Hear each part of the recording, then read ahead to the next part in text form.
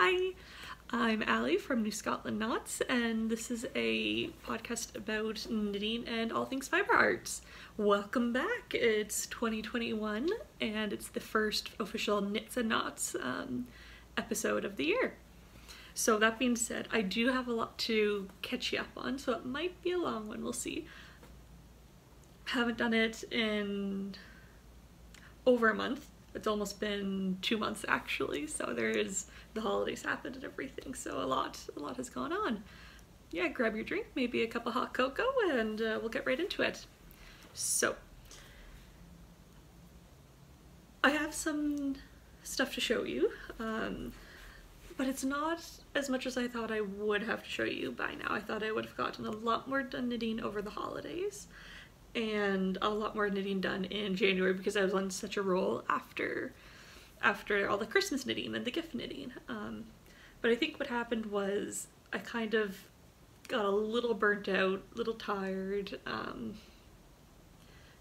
I wouldn't say lost my mojo, but just just got tired and did other did other things. Um, and I was having a lot of um, hand and wrist problems. Like I know after a certain amount of time, I just have to stop and stretch and take it easy for the rest of the evening. So I haven't been doing as much knitting as I'd like to, um, and hopefully I can I can get back to it. So shamefully, the first um, work in progress I have to show you is something I haven't worked on since I don't know Christmas Day, maybe Boxing Day, and that is a Christmas sock. Even worse is it's actually almost done. It's almost, I already have one sock. This is for Evan for Christmas. This is a new tradition where we both get matching Christmas socks at Christmas time every year. And I, I finished one right away, right after I did all of my other Christmas knitting. And I'm halfway on the other. I'm, I'm almost ready to turn the heel, but it's it's a little bit shameful. I only have, I don't know, two thirds left of a sock and then I'm done and they're ready. So I'm sorry that Evan did not get to wear them for Christmas, which means I also haven't started on my own pair for Christmas uh, 2020. But yeah, they'll um, they'll be finished eventually, and I'm trying not to be too hard on myself, just given given I was I was a bit tuckered out and I can't believe I'm saying this but almost like Christmas knitting out um, and I love the holidays but I did the stockings and all the gifts and I think the deadline just kind of got to my head and when I realized I don't need a deadline this is just for this is just for us um, and nobody's going to see them because we were alone this year um, due to everything in the world. So I didn't worry about it. So I haven't touched them I haven't been inspired to pick them up. I'm hoping to now. I think I'm ready to finish them and then cast on my own because I would like to get more into sock knitting. Mainly because my feet are cold and even in my wool slippers wearing regular socks I'm still too cold. um, so I'd like some extra some extra comfort on my own feet but in order to do that I have to finish these first. So that's work in progress number one. That hasn't been a work in progress since since December 2020 and we're in February, so whoops. So that's number one. And work in progress number two has been, I have my Joji & Co bag, loving it, I got it for Christmas. Um, it's just very, not plush, plush isn't the right word, but squishy, right? It just kind of falls. Anyway, I just finished sewing up the or buttoning off the shoulders last night so at least it looks more more like something than a mohair square. When it's not mohair at all actually. So this is going to be a cardigan. See I just bound off pretty clean. The pattern said to do the bind off to so you so you show the the seam, but I didn't. I didn't want that look. So I just did it on the inside. I flipped it inside out instead of having two right facing sides together. But it's almost done. I just need the arms and the button bands.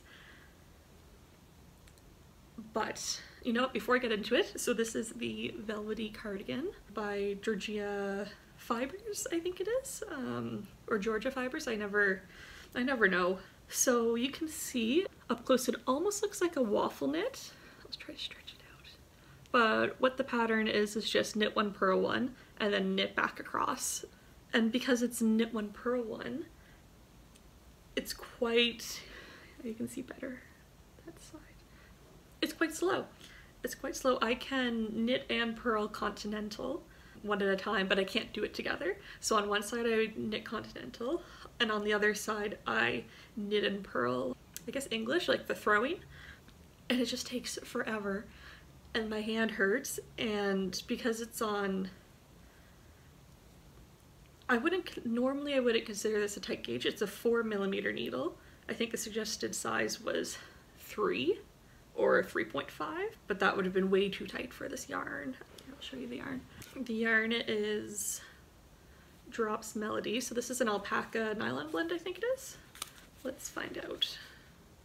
Alpaca, yeah, 71% alpaca, 25% wool, and 4% polyamide, which I'm pretty sure is, is part of the core.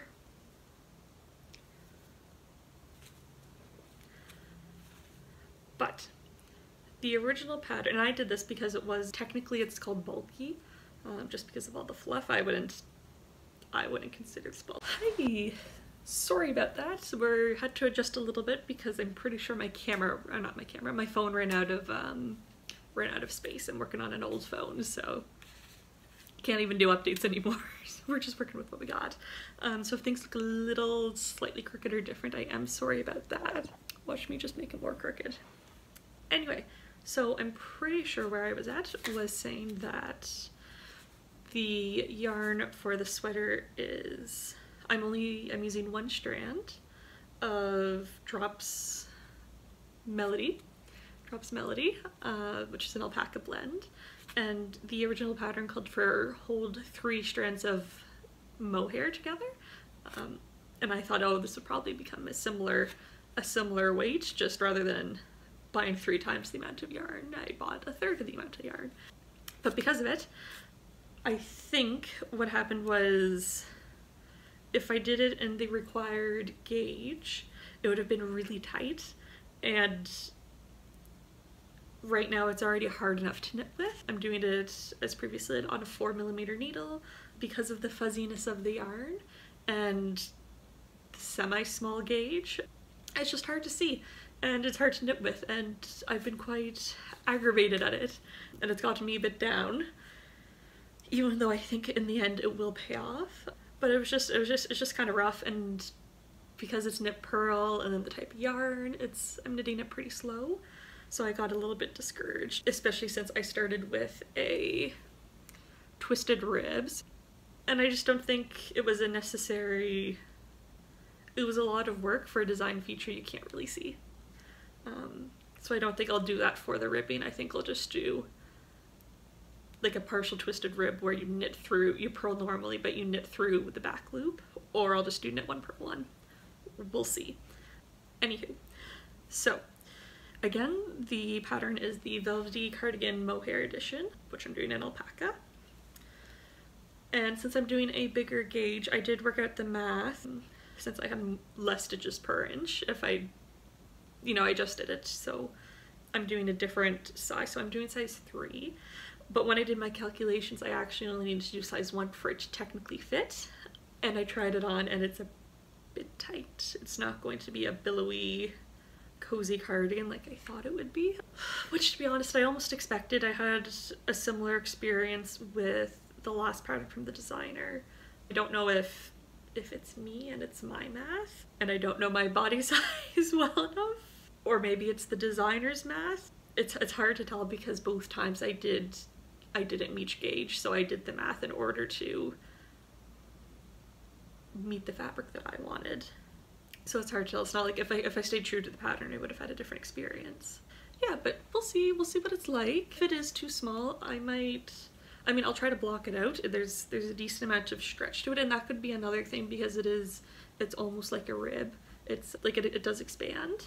So I might be able to just block it all out and also because it is alpaca, like I'm hoping it just drops a little bit. um, but we'll see. And if not, I'll give it to my sister. I'm sure she'd wear it. I don't, I don't consider it itchy, but I think she'd want to wear um, like a long sleeve top um, under it, but we'll see what happens. Plugging away at it, and hopefully now that the body part's done, everything else gets a bit quicker and I find that motivation again to finish it because it has been quite a quite a challenge to to get where I am now. So yeah, that's what I have to say about this. So next up is a few finished objects. One I started at the end, I think it was December 30th or something like that. I started and I was almost done. I almost finished it on New Year's Eve. Uh, I just sat in it the whole day. It was great. But I did finish it in in the early new year and I've been working and I've been wearing it ever since. And that is the Turtle Dove 2 by uh, Espace Um, it doesn't look like much when you take a picture of it flat or hold it up like this. It's just kind of an awkward an awkward shape, almost looks cropped, long arms, kind of weird, slow raglan, um, steep, steep and slow raglan. But let me tell you, it is light as air and so cozy. So again, this was used with drops and alpaca blend. Um, this was drops air and they're like gray and I love it. I kept thinking I was going to run out of yarn though, which was kind of scary and I didn't. I actually have an extra ball and my only regret is I really wish I used that because although I did I extended the sleeves an extra six inches to the to what the pattern called for because where where it's a slow decrease and such a steep decrease. Like the armpit's like here. Like it is really far out since it's just a wide crop style but I wanted it to be like full sleeve. So here for example like here's it's almost bracelet length, but I wanted it to go right to, right to my wrist. And then the other thing is, and it was also my first time doing the pattern, so I did want to stick to it and not make too many modifications. I figured sleeves, they're gonna be fine if I make them longer to my taste. But the other thing is the body. I'm gonna hold it up, hopefully you can see it. There we go. So it is a split hem. And you can see here where my, here, my thumb peeking out, it's only, I don't know, six inches, six inches before you do a ribbing. Now the ribbing is significant, um, excuse me, but, but it's still like short. And I think on most people, especially since it's wider, it'd be fine. It would fall, it would actually drape a little bit longer than, than it was made. But since I gave this, I think I worked it out to be eight inches positive ease, but it's probably closer to four. I should really take some some measurements. And it's just cropped enough where it, if I wear a pair of jeans, like it's fine. It'll cover it'll cover the top the top band of the jeans, but then it's on the side because of this split hem, because this hem's so long, it goes to my waist and I have to wear a tank I mean I'd wear a tank top or an undershirt under it regardless, but I really want to just because if not it's showing skin and why would you wear a sweater to to be cold so I have two options since I do have that ball of yarn I could try to do sweater surgery and cut it which is ter sounds terrifying to me I'd actually want to do the same thing to this sweater um, cut it knit with that extra ball and then Kitchener sew it back up, Kitchener stitch it together. But I've never done it before and it sounds a bit uh, daunting.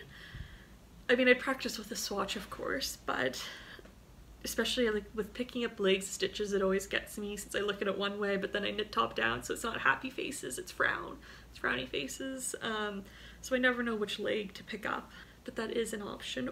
Or I'd love to have one in every color, um, so I could just make another one and then do some additional modifications to the pattern and give this one to my mother because she has um, she's she's very interested in it and can't wait to steal it from me one day.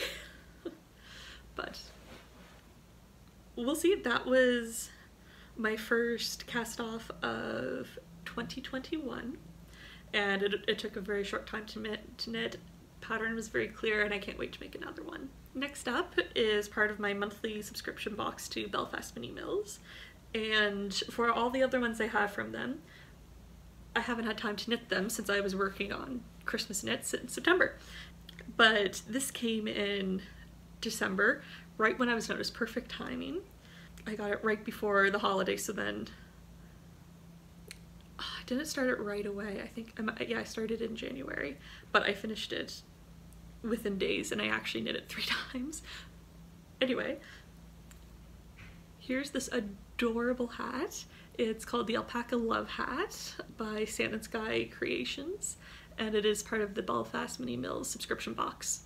So every month, I'll talk to you later about it, I get a box um, and this happened to be it. So with the box, I have tons of leftovers, um, but it came with their island collection of worsted weight and I got, mine came in brown. I actually requested it. I watched their podcast. They said, oh, we're going to just randomly assign colors, but if there's something you like, let us know. So I did reach out. I said, oh, I love the, the sample you have. If, if there's any leftover um, I'd like mine to be paired with the brown.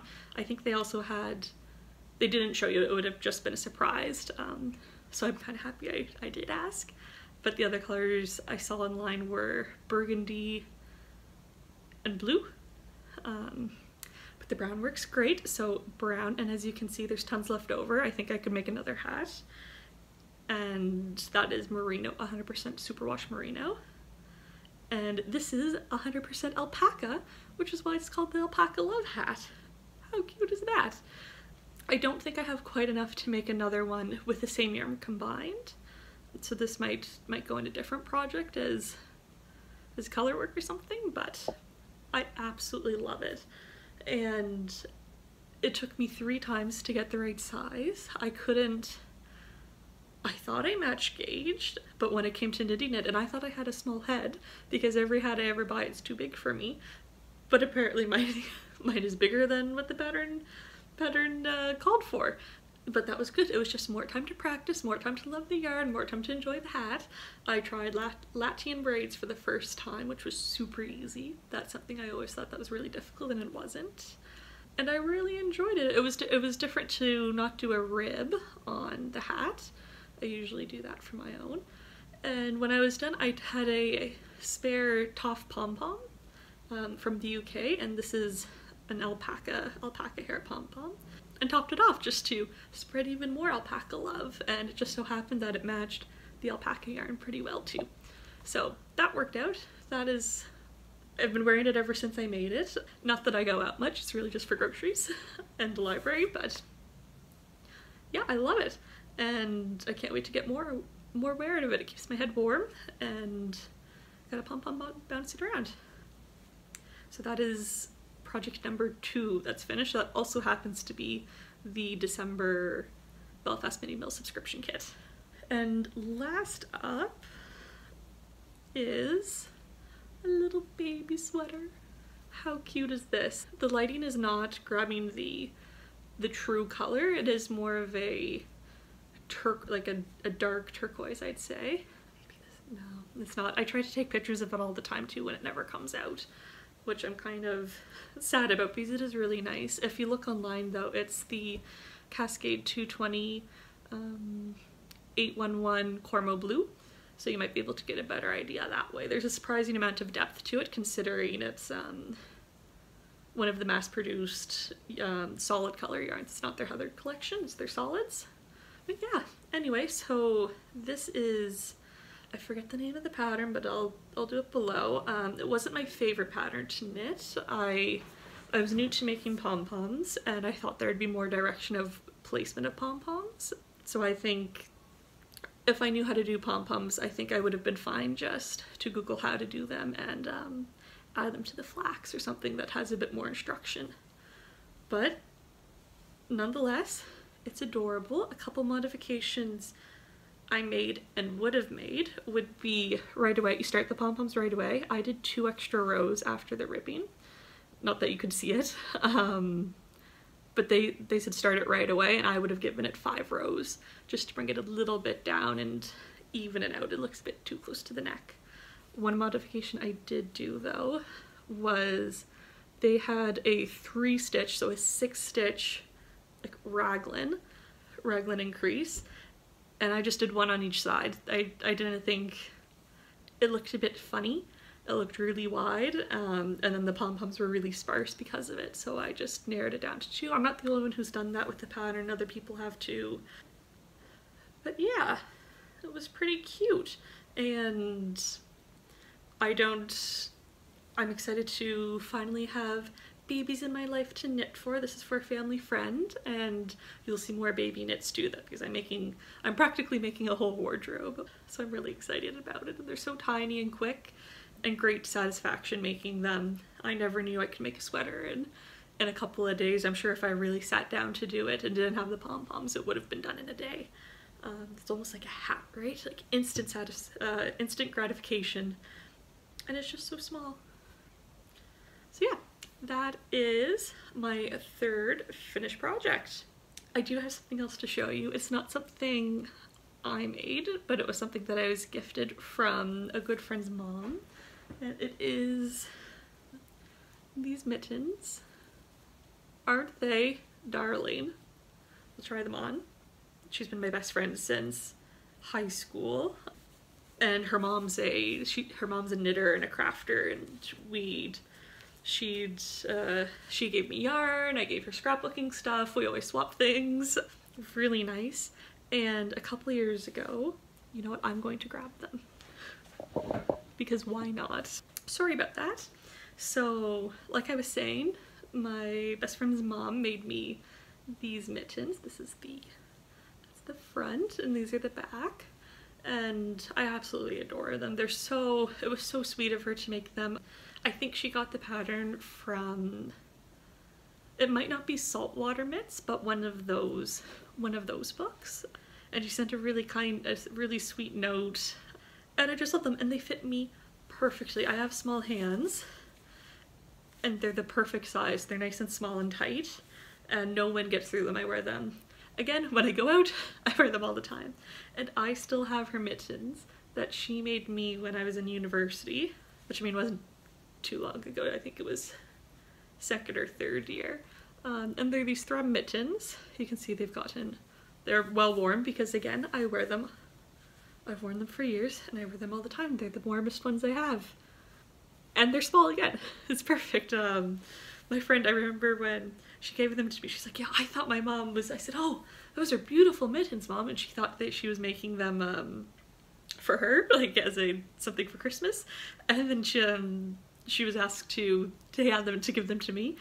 But don't worry, I made, I made her a pair of, pair of thread mittens um, a couple years later. So it all, it all worked out. Everybody got, got thread mittens. And she has, she has many pairs too. But yeah, these are just super, super special and I love them so much and I think it's just the kindest thing because as a knitter I know all the work that goes into it. I know whether it's the cost of materials, I think this is Briggs and Little and quit like just like the heart like I understand the love and the time and the effort that it takes to make them and I appreciate them even more that that I didn't make them and it was a gift from somebody who really who really knows. So yeah, I, will I, I'll cherish these forever. So I did want to want to um, want to share that. And if you're ever watching, thank you so much. I love them. Um, I think they're spectacular. Yeah, and then if you're if you're um, if you're watching out there, thank you very much. I love them both, and I wear them all the time. Next up is yarn, which I've gotten a lot. Um, I've gotten a lot quite recently in a short period of time, but most of the purchases came in January, and it just took a lot with. Um, with shipping to get here since I'm not really going out. So where to begin, where to begin? How about, you know what, let's start with the yarn subscriptions. So as I said previously, I subscribe to Belfast Mini Mills um, and I've gotten a couple subscriptions to catch you up on. And the first one being was the, because of delays in Canada Post, everything's been coming a bit late. So this was the November, I don't think it's in the right order, so please forgive me. This was the November set for Belfast Mini Mills. It's a mini skein set and it came with all of their all of their sets come with patterns. Um, so for the hat, I happened to use the pattern. This was the December, this was the November. The November was gloves, I think trigger or trigger mittens, which for those of you that don't know, it's I'm pretty sure it's a Newfoundland um, style of mitten. And you have your mitten, and instead of having your four fingers together, you have a separate one. So it's easy. So you have it's almost like it's like Spock. So you have your thumb, you have your pointer finger, and then your other three fingers that stay together. And then it's just a bit more functional. I think it's more um, fishermen used to use it more often just with dealing with ropes and you know fishing on the boats um, and it's just a bit it's a bit more functional but gives you more warmth than a normal glove would where all your fingers are separated so there's a pattern that comes with this kit. I don't know if I will do the, the trigger mittens. We'll see. There's and I do have a couple kits stacked up now. I saw a um, I saw a post online and this woman did she used her her subscription and did a the shift cowl by Andrea Mowry and it looked phenomenal. I think it's a great idea and I think it might be the perfect amount of yarn that you need to make one of those. Maybe I'll start making a bunch of those and I can give them away or keep them for myself um, or collect a bunch of minis and use them I think for yokes of a sweater but for now I'm just holding on to them and getting a little um, little collection going. So that was November and December, and then in February I got the January one, which already came pre-wound, and it is. It's kind of nice having a pre-wound um, if I did want to cast something on right away. It's it is their island collection of, again, merino wool. I think most of their wool is either um, exotic or merino or superwash merino. And this came with a pattern for a cowl, a crocheted cowl. And I don't crochet. I'd love to learn. I've been trying to learn off of YouTube. It's not, it hasn't been working for me. Um, so I think I might just have to take a class when those are available again. Um, so again, I might use this for a yoke. I even thought what would be cool is since these two bottom colors are quite similar, they're just a hair off, I thought it would be cool to do like a slip stitch hat, like have these ones in the background alternating and then these in the front. We'll see what happens.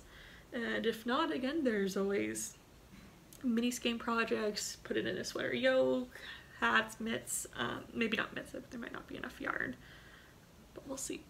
We'll see. And then if, I would say if you're interested in the bowl, and this yarn is a, this bowl is a special yarn bowl. It's one of a kind. The,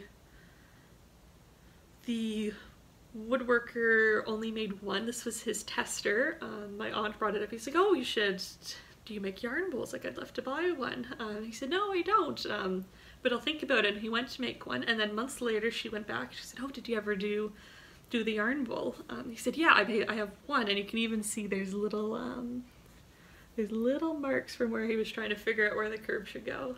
I mean, the wood's beautiful too. And he said, yes, I made one.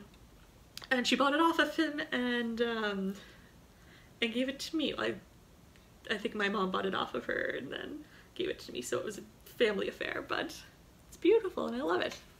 It's great and it's nice and solid. So just stashing those in there for now. So yes, those are all of my Belfast Mini Mill subscriptions, and I have one more subscription, and that is to Longway Homestead in Manitoba. So I've mentioned these before, but this is another, again, another monthly one, but this one you get a different yarn, uh, you, you get a different fiber breed, sheep breed each month. So she does the same same idea just for spinning fibers, so if you're a spinner you can do that too. But since I knit, I've, I've been getting the knitting ones and they're just a pleasure to get every month. You get an info card um, with information about the wool, about the sheep, um, and I'm pretty sure the farm info as well. And then you get to try out the yarn. So I haven't actually knit with any of them yet. I'm trying to figure out, do I want to do one big project with all of them when I have the 12 months, um, like make a blanket or something, or should I break them up and then just do a true yarn sampler? Like I don't quite know what to do, but so far I have Rambouillet, which is a DK 3 ply, and it is grown and milled in Manitoba. And this is a true, like dark brown. Yeah, you can almost see that. And this is Fin, fin Sheep. I don't think I've heard of them before. Uh, two ply worsted, natural. Again, grown and milled in Manitoba. In a gray. And most of them are, yeah, they're all 100 grams. Um, so the yardage would vary depending on what what weight as in how thick the yarn is. So fingering, worsted, Aran, um, lace, you know. And this, my recent one that I just got in the mail the other day, it's perfect timing. Everything is uh, is arriving. Um, is Corriedale, and this is a single ply sport. And again, grown and milled in Manitoba. Now they come in interesting packaging. They come squished in an envelope with, um, oh, what's it called? Not a laminator, but like the food saver where you suck all the air out. You can put meat or soup. It's kind of funny when you see soup in the bags. But you cut it and then it just poofs right up. You give it a few snaps and I just put them in. I skein them just to keep them organized. It's not the cleanest thing as you can see. I'm not very good at it, but it does the trick. So yeah, this is my fourth month, so I still have eight more months to go on that. And another is, and the next thing I have to show you is yarn from, and more yarn from PEI. And this time it is from Fleece and Harmony in PEI, also in Belfast. Um, I think their neighbors are right down the road from Belfast Mini Mills. So I'll show you one. I bought a sweaters quantity. Yeah, there you go. You can see it in that light a bit better.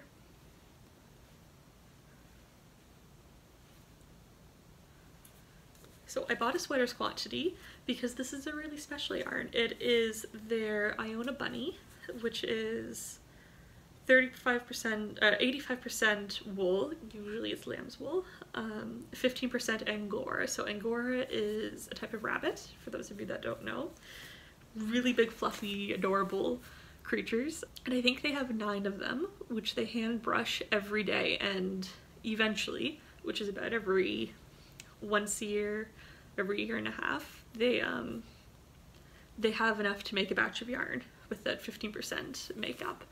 And it just so happened that this was that batch. And the last batch I bought was yeah, December December 2019, and it was end of, end December, right before the new year, they came out with it.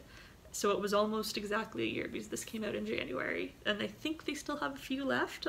I'll check for you. In order to get the link, you do have to be a subscriber, or to their to their um, to their mailing list, or if you're a subscriber to their YouTube channel, you can go to the to the links and then they'll directly link you. You just can't find it if you're on the site because this is a special, a special blend. But yeah, I bought a sweater's worth. So I am planning on doing a sweater from Laine magazine, but we'll see if that changes. I'm really happy with the color. The last time I bought it, I bought three skeins of a light green, which I have showed you. It's that vet, that lace, um, that lacework vest by Georgie, Georgia Fiber Arts. I was kind of disappointed. I have, I still haven't done anything with the pink, the pink yarn or the rest of the green because I still have one skein left.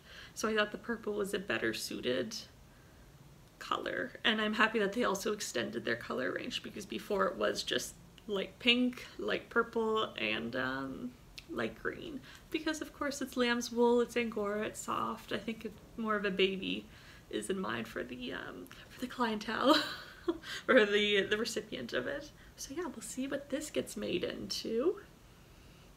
I am excited for it and I do have to figure out how to use the other stuff because it's special yarn and I do want to make a nice project with it. Okay, and last up is another sweaters quantity. Apparently I've been I've been into making sweaters. It's They happen to need up fast, um, aside from this cardigan that I've been working on. And this is all Mineville Wool Project, which is gorgeous. So this is a Nova Scotian yarn, or dyer.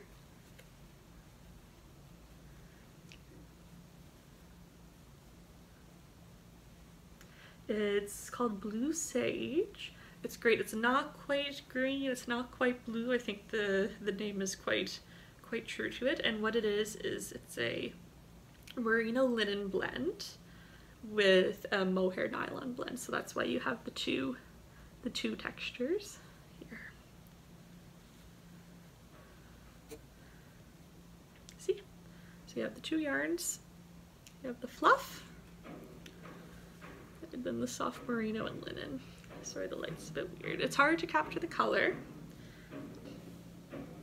but it's beautiful and I'm so excited to knit with it. Um, again, I do have a project in mind and I hope I got enough yarn. Good enough, good enough. It's not, it's not very, see, it's not very clean, um, especially compared to this, it's perfect. But, so what I am planning on doing is the, I want to say it's called, do you hear that? You know what, I would pause, but I'm going to keep going because if construction started, it's just not going to stop at this point. So I'm really sorry if you can hear that and it's loud and bangy. But I think I'm going to make the, I think it's called the Mousseux by, again, Espace Tricot. They have beautiful patterns, all free, um, which is fantastic. And I thought this would be perfect because that sweater is very lightweight, airy. It's also held with mohair, so I thought it would give a similar vibe. And because it is linen, I thought it would be better for like winter to spring transition which is also why I went with with this color. I thought it would be really nice going into spring and then I can still wear a sweater even though it's kind of I mean I'll say it's kind of warm. Hopefully we're we're in the um, single digits and not not minus 23 with wind chill but we'll figure that one out but yeah i'm really excited it's lovely um, i love all the yarn made from it's a family so you have fleece artist Hand Maiden Fine Yarns and Mineville wool project and all the women are family members. Each of them has their own. And this yarn is actually still on sale, so I will link below if you're interested. And if you spend over a certain amount, you get free shipping, which is really, which is helpful. So yeah, those are my works in progress, my completed projects, and my planned projects, we'll call them. We'll see how long it takes to do them, but they are planned. I am trying to be a bit more mindful of the yarn I buy and what I'm going to do with it, just rather than picking up a pretty skein and thinking, oh, I need this in my life. So we'll see. We'll see how long this lasts. I hope it does last because it would be good to start building a wardrobe that I love and wear and I love every part of it from the pattern to the yarn and the color and the fiber makeup and of course making it because that is it's great that we get to wear it but it's it's also entertainment and we get to put all this time and love in every stitch. I don't have too much more to show you, but I will show you what I have been reading. I got Dyeing to Knit and Spin, uh, Dyeing to Spin and Knit by Felicia Lo. Yeah, so this is the maker of Sweet Georgia Fiber or Sweet Georgia Yarns, which is a Vancouver dye. She's really popular, I'm sure you've heard. But yeah, this is her book, and I'm only a few chapters in. Yeah, I'm only on page 66 or 67, and it's fantastic. I'm so excited to get get more reading. And right now it's only, I've only read about color theory and as a, and I've, I've done, I had a whole class about um, design and color theory during my undergrad for marketing. And as somebody who is artistic like I do enjoy it but it was an awful awful boring class. And what they needed to teach us in a whole semester she taught me in 60 pages. And it was just so much more eye-opening and it made a lot more sense and of course beautiful to look at. So I'm really excited to to read more about it. This is a library book though, so I do have to finish it soon. But I have every intention, I already have it on on my um, my wish list. That's what I do with my knitting books. I tend to get them at the library if it's available or uh, whether that's um, like online through the app or in person. Uh, don't worry, everything goes through a quarantine period. And then if I do like it and think it would be a good reference book or I'd want to read it again, that's when I when I'll purchase it. So I think this will definitely be a purchase, even if it's just for the first 60 pages, which I'm sure will be just as good and interesting so we'll see. And I'd really like to learn spinning. That's part of the reason why I got it. Um, I thought it'd be another good fiber art to get into since I don't need a lot of space, especially if it's just with a, spin a hand spindle. So we'll see if, uh, if anything goes farther with that in the meantime. I don't know if there's anything else. Yeah, there's not too much more to share. I reflected a bit, I think in my last video of looking forward, and that is, as I previously stated, um, being a bit more mindful about my yarn consumption and the patterns I choose and the make the, the fiber that's used in the yarn and the colors just to make sure it's something I'd wear and use or if it's a gift that it's it's good for the person. And I would like to start really breaking through through my stash. I think last year was the year of knitting for before I mean it was also gathering yard and, and loving every part of it. But before I would just pick up a skein here and there not knowing what to do with it. So I think I'd really like to start using those, whether it's making a project all together or doing little things and saving them as gifts if I don't think the yarn's for me anymore. It still had its place and its purpose and inspired love and creativity at the time. But we'll see. We'll see what happens. So I'd really like to start making a dent in my stash, kind of get my knitting mojo back once I finish that cardigan, which I think will happen now that it's um, that it's mainly done and it just needs arms and the the ribbing around. I won't worry about buttons yet. I'll have to shop for them online since everything's still closed. And if buttons don't get added for another few months, well, not the end of the world. So yeah, thank you for joining me. I hope you made it through the whole episode. I know it was a long one. I'm glad we got a good catch up though. And if you did, please give us a thumbs up and like and subscribe. Um, leave a comment. I love reading reading comments. Everybody's so nice. And I hope you have a great day. Yeah, and I'll see you in a couple weeks. Okay. Take care. Bye.